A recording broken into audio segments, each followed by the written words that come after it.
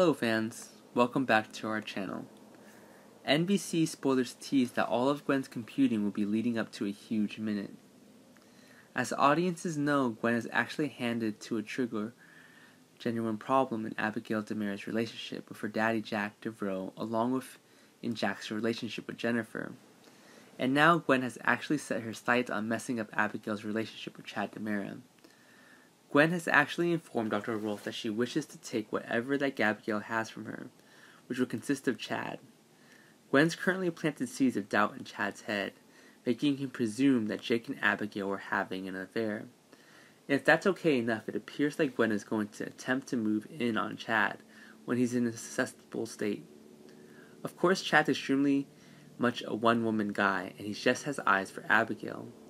Days of Our Lives spoilers suggest that Gwen's going to go nuclear in her strategy to separate Abigail and Chad to the point where she might really abduct Chad and hold him versus his will. And it appears like this will decrease on New Year's Eve as DOOL spoilers for the day state that Gwen will tempt Chad into her trap. This will likewise be the day that Abigail and Anna discover some incriminating proof versus Gwen in Gwen's bedroom. It appears like Anna will spearhead this effort, I shall be extremely suspicious of Gwen and her intentions. On Friday, January 1st, Anna will share her suspicions about Gwen with Jack, while Abigail makes a surprising discovery. Chad will be missing out on in action. Days of Our Lives spoilers for New Year's Day state that Abigail will browse for missing out on Chad, and that sounds quite like Gwen will be holding Chad captive someplace. After all, Chad would not voluntarily go missing out on from his state, on such a huge vacation and fret Abigail and the kids like this. May Gwen drug Chad and keep him versus his will as part of the grand ending of her huge repair for Abigail? We'll see what takes place here. However, it does appear that all of Gwen's computing will be causing this minute.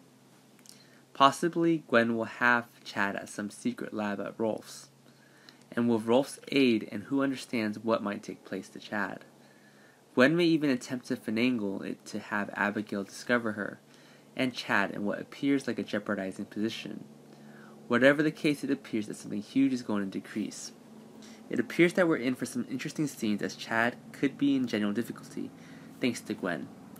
Do you believe that Gwen will hold Chad versus his will as part of the plot to destroy Abigail's life? Thanks for watching, goodbye, and see you next time.